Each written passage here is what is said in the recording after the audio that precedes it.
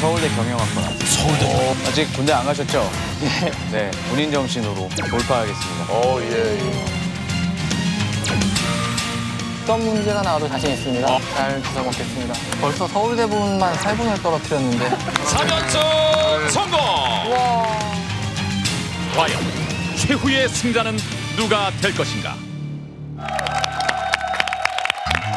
최강 연성 퀴즈쇼 대망의 결승전입니다. 지금 보신 대로 공군 통역장교 이상목 씨가 결승에 당당히 진출을 해 있고요. 그리고 제 오른쪽에는 오늘 4연승에 도전하는 카이스트 자 중인 최성주 씨 나와 있습니다. 최성주 씨, 네.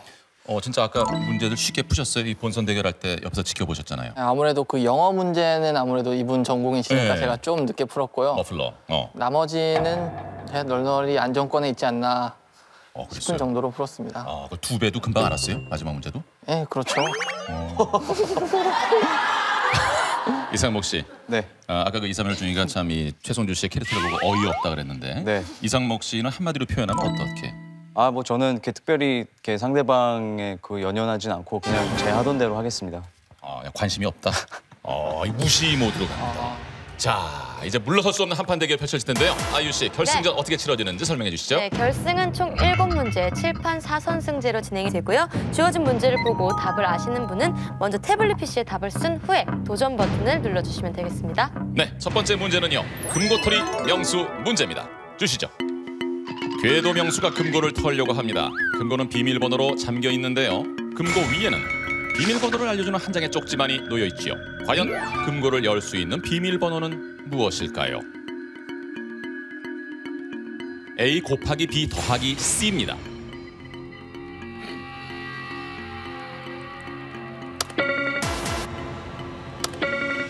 네, 이상목 중이 먼저 들어왔습니다. 설명해 주실까요? 네. A는 7, 네, B는 10, 네, C는 4 네. 해서 74입니다. 74. 아, 아닌데요. 아닙니다, 아닙니다, 아, 아닙니다. 예, 최성주 씨 들어왔어요?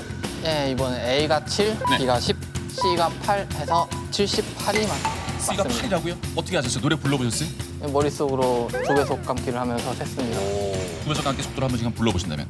만나면 반갑다고 뽀뽀. 잠깐만요.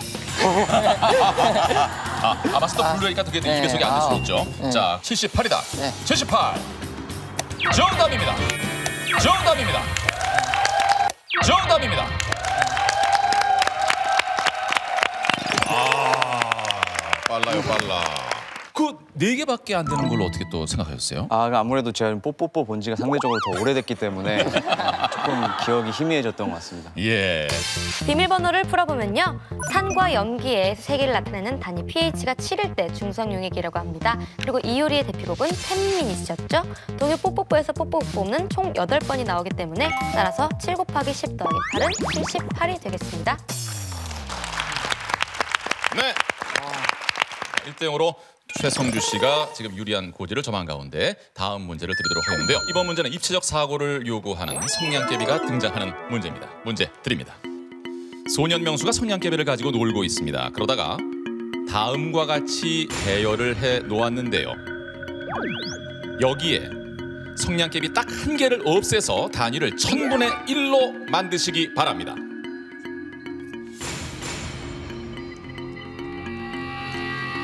성냥개비 하나만 없애야 됩니다. 지금 100m라고 되어 있죠? 이상목 중이 이상목 중이 들어왔습니다. 설명해 주실까요? 아, 잘못 적었습니다.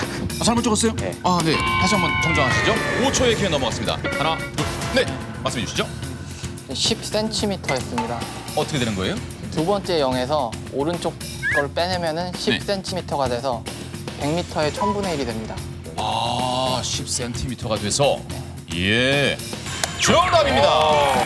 정답입니다. 정답입니다.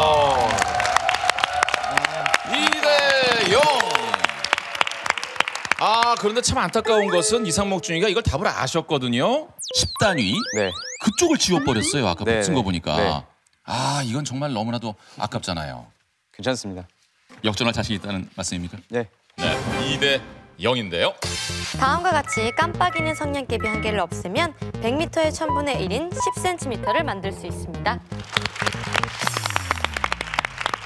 네, 지금 2대 0으로 최성주 씨가 앞서가고 있습니다. 또 다음 문제를 드릴 텐데요. 세 번째 결승 문제 주어진 단어들을 보시고 공통점을 찾는 문제가 되겠습니다. 문제 주세요. 한국을 빛낸 위인들입니다. 공통으로 유추할 수 있는 단어는 뭐? 어, 예. 공통으로 유추할 수 있는 단어는 뭐? 어, 예. 말씀 주십시오. 자, 손준 씨.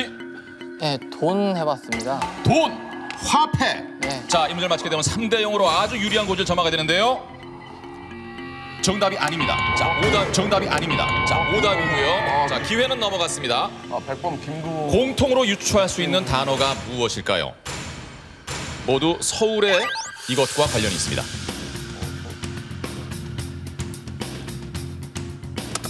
자, 이번에 이상목 중이 들어왔습니다. 네, 답을 도로라고 적었습니다. 도로. 예. 아, 그러니까 어, 서울에 있는 그 도로 이름? 네, 을지로, 태계로, 어. 백범로, 율곡로, 충무로. 그래서 다 서울의 도로 이름인 것 같습니다. 맞네. 정답입니다. 정답입니다. 예, 정답입니다. 예. 2대 1로 한 점을 만회하는 순간입니다.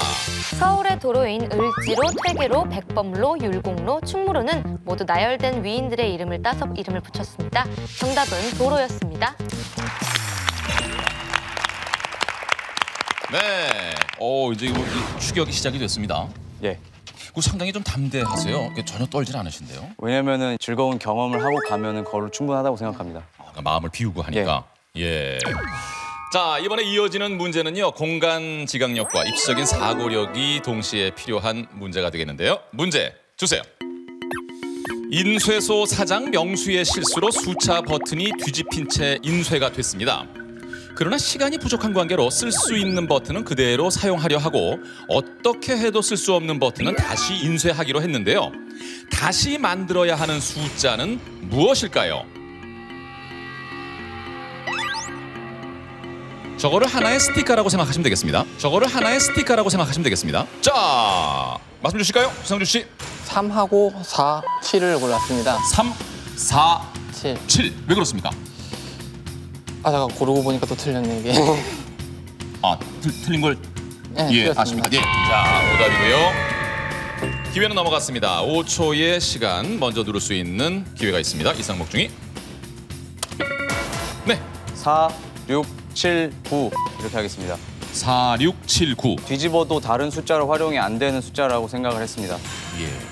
하나의 스티커라고 제가 생각하라고 말씀드렸는데요. 아닙니다. 오답입니다. 예, 최성주 씨. 네. 6하고 9를 골랐습니다. 6하고 9요. 예. 어. 4는 이렇게 옆으로 90도 돌리면 되고 7은 이쪽으로 좀 적당히 돌리면 은 예. 되게 생겨서 예. 6하고 9는 돌려도 안 나오기 때문에 돌려도 완전히 반대로 되어 있기 때문에 거울에 비친 모습 같이 되어 있기 때문에 네. 네, 6과 9다. 네. 정답. 정답. 네. 야, 대단하세요. 대단하세요. 예. 3대 1이 되는 순간입니다. 다음과 같이 잘못 인쇄된 숫자들을 돌려보면 6과 9는 어떻게 해도 쓸 수가 없습니다. 그러므로 정답은 6과 9가 되겠습니다. 네. 3대 1인데 상당히 좀 불리해졌거든요. 예. 어, 역시 군인이세요. 딱이 정면만 자체. 네. 그래서 어쩌란 말입니까? 네. 역전해야죠. 네. 네. 어, 3대 1인 거로 최성주 씨는 이번 문제 맞히게 되면 네. 당당히 4연승 5천만 원의 주인공으로 등극하게 되어 있습니다. 네. 종합적인 상식을 필요로 하는 문제를 지금부터 드리겠습니다. 블랙박스에 들어갈 단어는 무엇일까요? A, B, C 설명에 해당하는 단어를 채워보시면 되겠죠? 죠? 죠? 최성주 씨가 벌써 눌렀습니다. 야, 임변호 아, 임윤산 변호사보다 더 빨리 눌렀어요. 네, 어떻게 되는 거예요? 임윤산 변호사보다 더 빨리 눌렀어요. 네, 어떻게 되는 거예요?